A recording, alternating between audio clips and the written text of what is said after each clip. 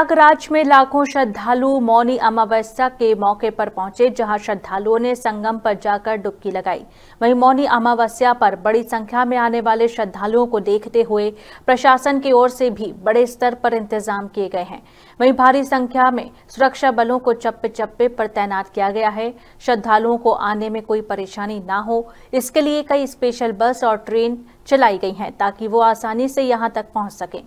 प्रयागराज से संवाददाता रशीद अलवी की रिपोर्ट।